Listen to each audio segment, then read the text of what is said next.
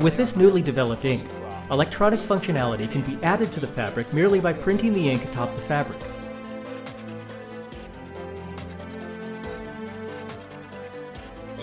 Even when the ink is printed onto the fabric, the fabric itself isn't damaged.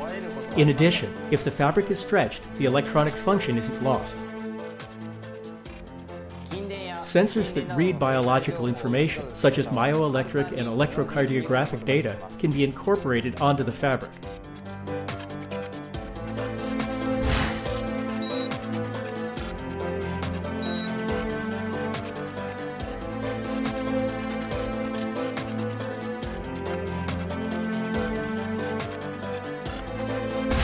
This research has made it possible to easily use clothing as a substrate for electronic circuitry by simply printing on the fabric.